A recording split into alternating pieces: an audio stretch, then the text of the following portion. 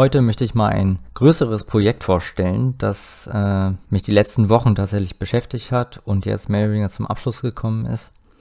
Und zwar geht es um folgendes Szenario. Also ich gucke sehr gerne Filme und beschäftige mich auch gerne mit den Schauspielern und Schauspielerinnen und möchte sozusagen gerne wissen, ja, haben die vielleicht schon mal in anderen Filmen mitgespielt, die ich kenne? Und wenn ja, welche Rollen haben die da gespielt? Also Beispiel Jessica Chastain. Die spielt bei Interstellar mit, großartige Rolle und da, da gucke ich mir immer an, ja, in welchen Film haben die denn noch gespielt? Und dann kann man zum Beispiel auf Wikipedia hier gehen, bloß dann weiß ich ja nicht, okay, ähm, welche Rolle hat sie denn da gespielt? Und ich kann mich vielleicht auch nicht, nicht unbedingt an den Titel des Films erinnern, sondern nur an Bilder oder an die Handlung. Das heißt, ja, ich bräuchte sozusagen eine andere Erinnerungsstütze. Und bei IMDB, also der International Movie Database, da ist es eigentlich ähnlich. Da, sehe ich zumindest immer den Namen des Charakters, aber ich kann mich natürlich nicht an die Namen erinnern von allen möglichen Filmen. Also ich äh, merke mir eher so die Figurenkonstellationen oder halt, wie sie eben ausgesehen hat in dem Film. Und genau das habe ich jetzt programmiert, sozusagen, was mir diese ganze Arbeit abnimmt, weil manchmal sitze ich da jetzt echt mega lange und meinetwegen, ich fange fang Film an und gehe erstmal die ganzen Schauspieler und Schauspielerinnen durch.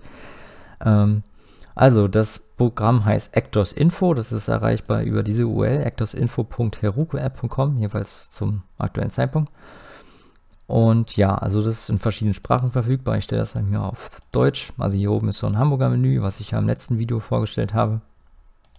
Und hier kann ich jetzt zum Beispiel mal Jessica eingeben. Dann wird schon so eine Schnellsuche durchgeführt. Die normale Suche, also wenn ich jetzt raufklicke, startet es direkt schon. Ich kann aber auch auf Suchen klicken und dann bekomme ich hier nochmal eine Übersicht über alle Suchergebnisse. Und wenn es äh, mehr als 20 sind, kann ich hier auch auf Finde mehr klicken. Und ja, hier ist sie ja schon, Jessica Chastain. Kann ich dann raufklicken. So, und jetzt habe ich hier eine Auflistung aller Filme, in denen sie mitgespielt hat, mit passenden Bildern dazu. Hier oben gibt es auch noch eine Biografie. Also gehen wir das mal von oben nach unten durch. Also die Biografie ist hier erstmal in so einer Kurzversion. Man kann auf mehr lesen klicken. Dann kann man einen Link erstellen. Das heißt, wenn ich den jetzt hier oben eingebe, ne, dann hat man hier die ID der Schauspielerin und die Sprache, in diesem Fall als URL-Parameter. Und dann, wenn ich das eingebe oder an jemanden schicke, über einen Messenger zum Beispiel, dann kriegt er auf jeden Fall wieder diese Seite. Ähm, genau. Dann die Bilder, die werden hier so aufgelistet, dass sie wirklich in einem äh, Kachelmuster schön angeordnet sind. Ich zeige das mal, wenn ich hier zum Beispiel auf 20 Bilder gehe. Dann ist das halt genau bündig, ne? Also hier, äh, das war auch nicht so leicht, sagen wir es mal so. Ähm, man kann immer wieder hochscrollen über diese Dreiecke hier. Jeder Film ist verlinkt, also hier sieht man ja schon unten IMDB-Link. Dann steht hier der Charakter und ich finde, über solche Bilder kann man sich viel besser an die Rolle erinnern. Leider ist es natürlich so, also das ist ja übrigens über die, über die Yahoo-Suchmaschine und hier über diesen Link kann man auch sich alle anderen Bilder anzeigen lassen. Natürlich ist diese Suche nicht immer perfekt, also es kann natürlich auch mal so generische Bilder geben wie hier, da ist sie auf irgendeiner Presseveranstaltung, wahrscheinlich Filmvorführung oder sowas. Äh, es ist also nicht immer perfekt, aber zum Beispiel hier sieht man auf jeden Fall, guck mal, das, das, das sind schon Bilder aus dem Film, ne? Und für mich ist das eine super Erinnerungsstütze sozusagen. Oder auch manchmal auch eine Einladung, vielleicht den Film zu sehen oder so, wenn die Bilder interessant aussehen. Hier Tree of Life, super Film. Also genau, und wenn mich jetzt zum Beispiel mehr an Bilder interessieren, kann ich zum Beispiel jetzt zu IMDb gehen oder ein paar Infos lesen. Also ist alles verlinkt. Wenn man hier ganz nach oben geht, kann man auch zu den TV-Serien nach unten scrollen. Ja. Genau. Das ist im Wesentlichen äh, das, was hiermit gemacht werden kann.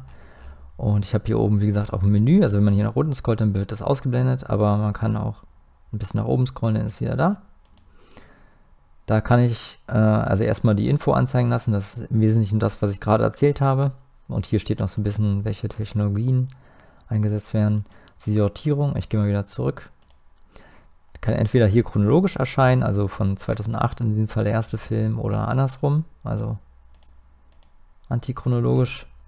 Das sind jetzt Filme auch ohne Jahr, weil die teilweise in Post-Production sind. Da weiß man noch gar nicht, wann die erscheinen. Und man kann halt die Bilderanzahl äh, einstellen, das habe ich ja gerade schon gemacht. Und man kann die Suchmaschine einstellen, das ist in diesem Fall Yahoo oder Google. Also ich habe mit verschiedenen Bildersuchmaschinen rumgespielt. Äh, letztendlich war Yahoo am zuverlässigsten, was sozusagen den Zugriff angeht. Also zum Beispiel bei Ecosia, die Suchmaschine, die ich normalerweise so verwende im Alltag, da war es so, dass der Zugriff untersagt worden ist, zumindest wenn ich das auf so einem Webserver mache. Bei Google sieht man leider nur relativ kleine Bilder. Das liegt daran, dass die echten Bilder von Google auf ihrer äh, Suchmaschine erst nachträglich mit JavaScript eingefügt werden. Also hier sind die auch relativ klein, ne? aber wenn man draufklickt, kriegt man halt die größeren. Und da war es tatsächlich ein großer Aufwand, die echten Bilder zu bekommen. Ich habe es auch hinbekommen, aber als ich das denn jetzt hier online gestellt habe, dann äh, ja, ging es halt nicht mehr. Und kann natürlich auch einfach eine Sicherheits-, ein Sicherheitsaspekt sein oder so. Also ähm, ja, es sind natürlich nicht meine Bilder hier oder so, sondern ich äh, nutze sozusagen andere Dienste. So, womit finde ich eigentlich die eigentlichen die Filme? Also das geht mit der äh, The Movie Database API.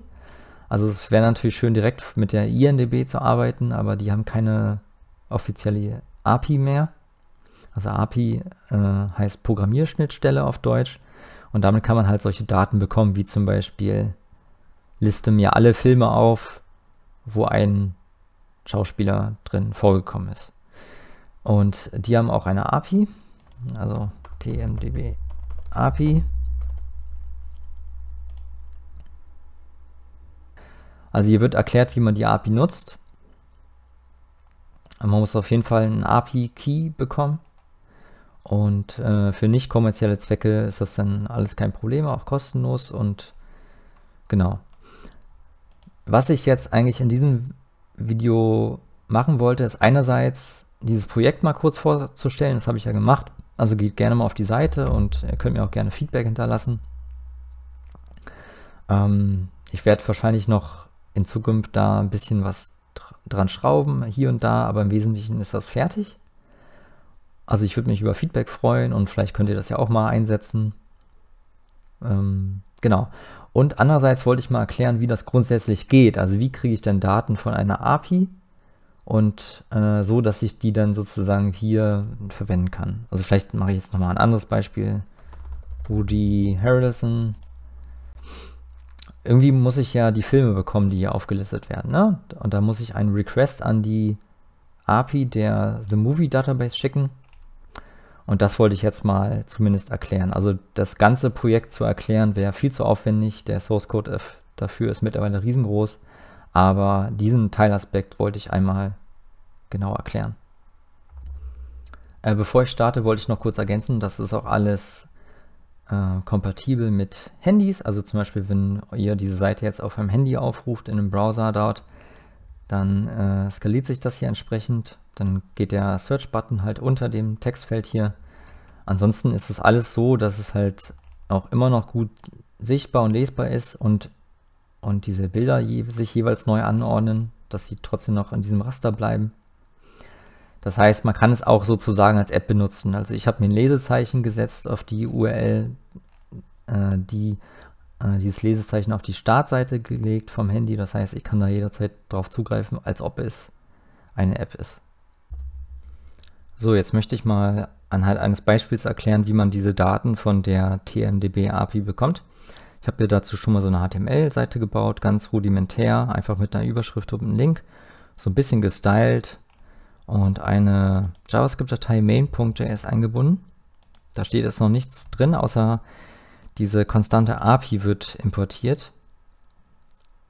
Ähm, ja, und da schreibe ich die API-Basis-URL rein. Also alle API-Abfragen beginnen halt mit dieser URL und haben dann halt noch Anhängsel, je nachdem, wonach man sucht. Und man muss dann noch äh, immer den API-Key als Parameter auch noch übergeben. Das ist ja sozusagen mein Passwort, um an die API ranzukommen. Das heißt, den zeige ich jetzt nicht, aber ich trage den hier gleich ein Und dann kann ich halt in main.js mit API.key darauf zugreifen, ohne dass ihr das sehen könnt. Ach so, und ähm, wenn man sowas jetzt wirklich programmieren würde und äh, ins Netz stellt, dann ist es natürlich auch so, dass man hier alle JavaScript-Dateien sehen würde. Das heißt, man braucht auf jeden Fall noch einen Server, der äh, diese API-Credentials hat. Das darf auf keinen Fall beim, beim Client zu sehen sein, weil dann hätte der letztendlich die Zugangsdaten. Das sollte vermieden werden. Ne? Bei Actors Info habe ich übrigens Node benutzt und Express als Server und auch Socket.io, äh, also dieses Framework, was ich auch schon in anderen Videos erklärt habe, um sozusagen diese äh, Trennung zu machen. Also was der Client hier sieht, ne, das ist eigentlich nur sozusagen das Beschönigte das, dessen, was der Server ausrechnet. Und jetzt in diesem Beispiel trenne ich das aber nicht, weil es einfach nur um die Illustration gehen soll. Okay, das heißt, ich trage jetzt gleich den Key hier ein und dann machen wir gleich bei der main.js weiter. Okay, das heißt, wir können jetzt hier mal eine URL definieren, wo wir jetzt eine Abfrage machen wollen mit der API. Ich mache das mal ein bisschen größer hier. Also die fängt an mit der API.url. Dann kommt, wir suchen mal hier nach einem Namen. Dann kommt das hier. Und dann kann ich hier in die, in die Referenz gucken, Query. Da kann ich jetzt einen Suchbegriff eingeben. Äh, solche Suchen beginnt man immer mit einem Fragezeichen, das ist eigentlich ganz intuitiv. Man schickt dann eine Frage hin, sozusagen, Hö? Äh, meine Frage ist, wer ist meinetwegen ähm, ähm, Tom? Tom Hanks. Finde ich da was? Und jetzt muss ich halt mein API-Key noch übergeben, also und API unten Strich Key gleich. Und jetzt kann ich hier auf meinen API.key zugreifen. So, das ist einfach meine URL. Und die grundlegende Funktion jetzt, ein Request an diese URL zu machen in JavaScript ist fetch URL. Das ist genau gesagt, also man könnte jetzt natürlich vermuten, okay, das ist irgendein, hat irgendein Ergebnis. So geht das aber nicht. Das ist nämlich ein Promise. Das heißt, eigentlich ist es so, dass man erstmal warten muss, bis der Server fertig ist. Und dann kann ich was mit, dem, mit der Response machen. Also diese, und da muss man das auch öfters mal so ketten und verketten und so. Das ist relativ unhandlich. Ich habe das auch erst bei diesem Projekt Actors Info gemacht und naja, nicht zu empfehlen. Besser man macht das mit Async und Await. Das geht so. Ich packe das hier mal alles in so eine Testfunktion. Ups. Test. Async Function. Und dann kann ich in dieser Async Function also in dieser asynchronen Funktion, kann ich eben genauso was reinschreiben, als ob es eine ganz, ganz normale Variable ist. Fetch URL. Und dann muss ich das noch umwandeln in ein JavaScript-Objekt, weil zurzeit das wäre nur ein JSON-Daten, damit kann ich nichts anfangen. Ähm, also ich, ich wandle das um, das ist auch ein Promise, das heißt auch wieder Await. Und dann kann ich ja mal versuchen, das Objekt zu loggen. Und hoffe, dass ich dann irgendwas bekomme. Jetzt führe ich die Funktion noch aus. Gucke ich hier mal rein.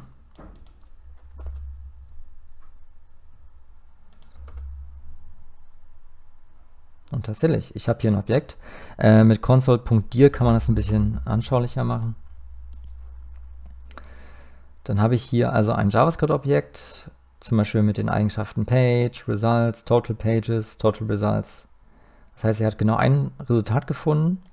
Angenommen, ich mache jetzt mal Tom als Suchbegriff. Dann kriege ich mehr Ergebnisse. ähm, es werden immer nur 20 Ergebnisse übrigens angezeigt pro Seite. Also ich könnte jetzt hier in den Query noch Page gleich 2 zum Beispiel schreiben, um die nächste Seite zu bekommen. Und das habe ich dann auch auf der in dem Projekt hier eingesetzt. Klicken wir mal rauf. Also übrigens ein super Tool, um sowas hier durchzugehen, ist Postman.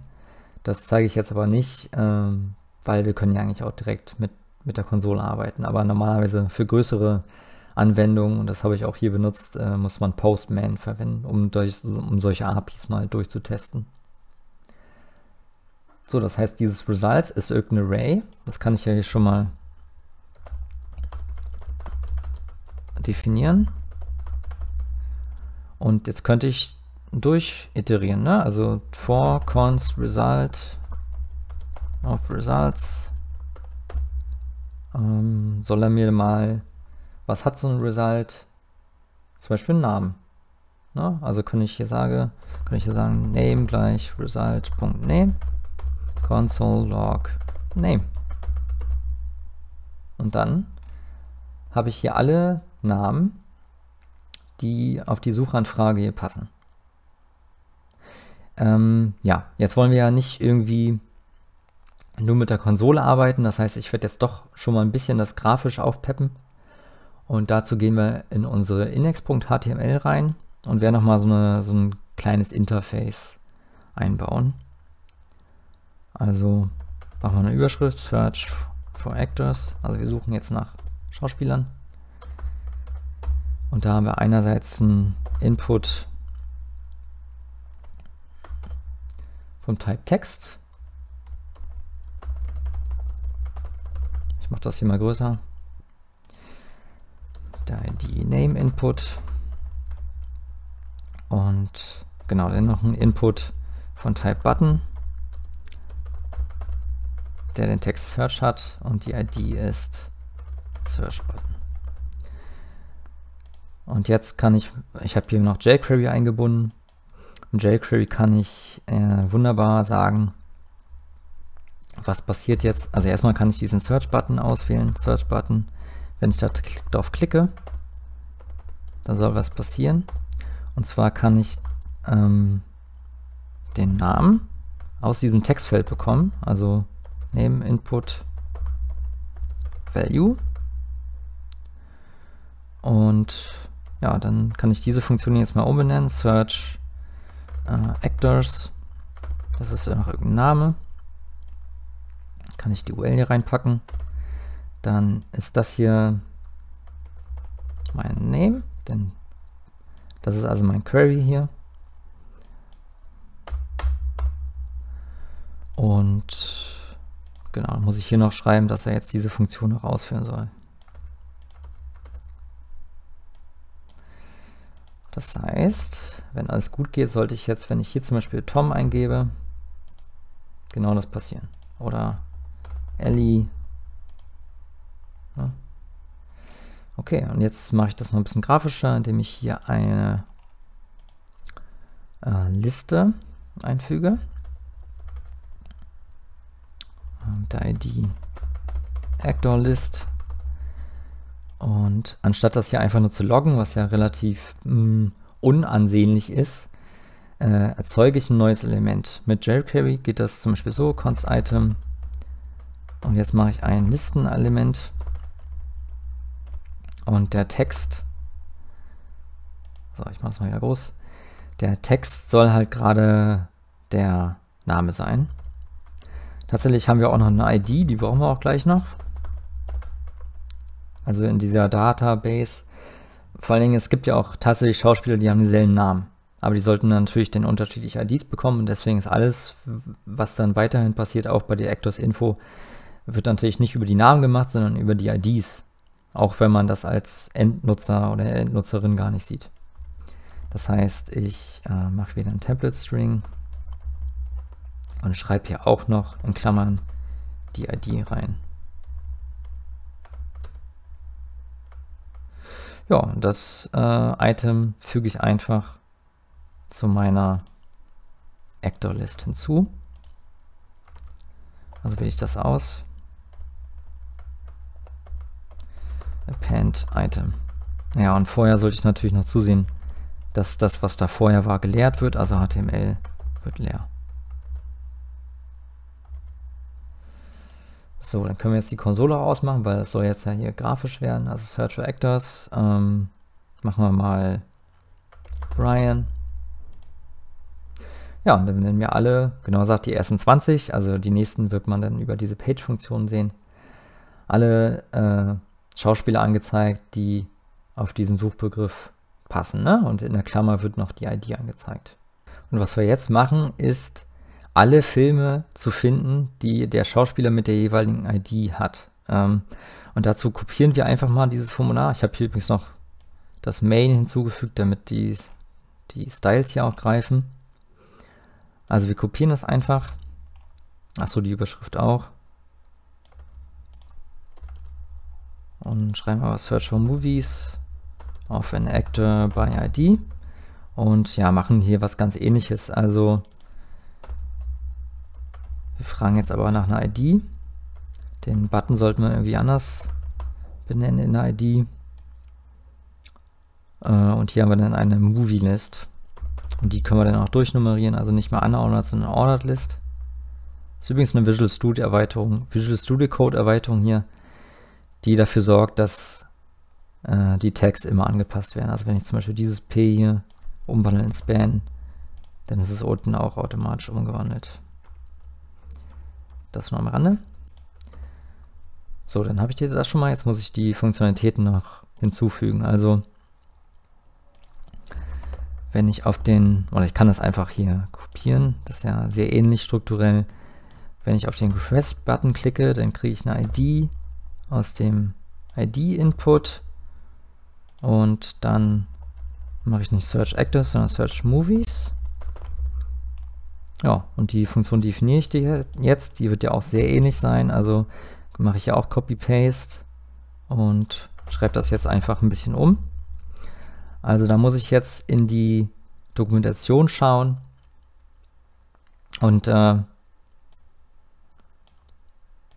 ja, finde, um die, also um überhaupt alle Details zu einer Person zu finden, mache ich das hier.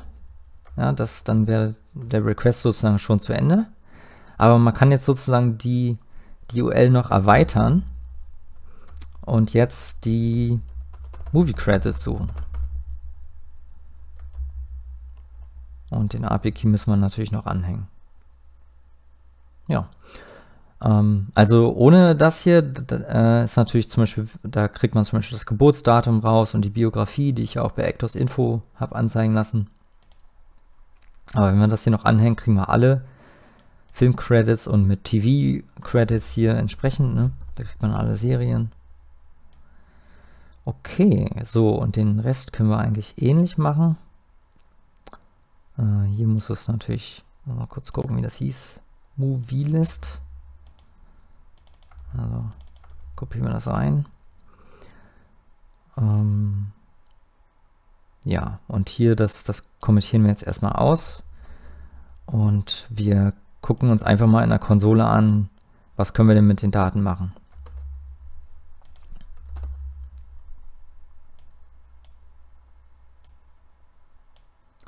Okay, ist ein bisschen. Achso, ich bin ja noch im Mobile-Modus. Also mein Fing 1, 2, 3.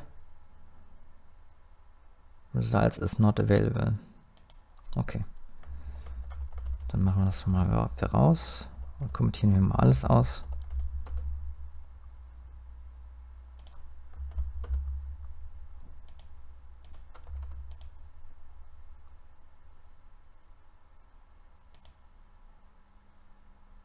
Okay, der API-Key wird anscheinend nicht richtig erkannt. Schaue ich mal kurz, woran das liegt. Achso, man muss hier Fragezeichen schreiben. Also vorher war ja kein äh, Fragezeichen. Also die erste Abfrage ist sozusagen mit einem Fragezeichen und dann kommen nur noch diese Unzeichen, wie hier zum Beispiel. So. Jetzt kriege ich eine Antwort. Genau, und da sehe ich jetzt, ich weiß gerade gar nicht, wer das hier ist. ähm, können wir ja spaßeshalber machen. Also wie ich schon erklärt hatte, wenn ich das jetzt hier äh, weglasse, dann sehe ich, aha, das ist Barry Osborne, wer auch immer das ist. Äh, ist dann geboren. Hier hat man so ein Profilbild tatsächlich. Ja, also ähm, von dem haben wir jetzt also die Filme.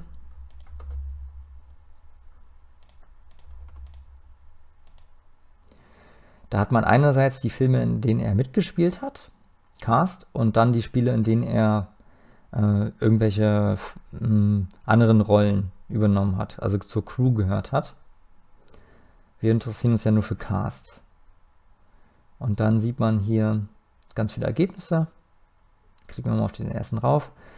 Und da sieht man jetzt also die ganzen Infos zu dem Film. Also insbesondere hier Title und was wir auch noch wissen wollen, Release Date. Und noch allen möglichen anderen Krams, den man dann halt verwenden kann, wenn man das möchte.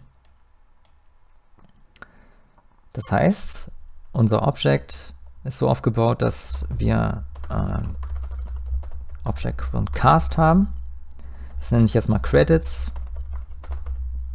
Und ich kann jetzt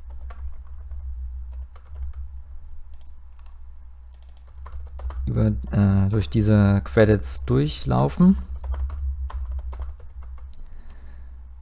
und krieg den, ja, vielleicht soll ich das auch mal löschen hier, krieg den Titel über credit.title und ähm, krieg das Release Date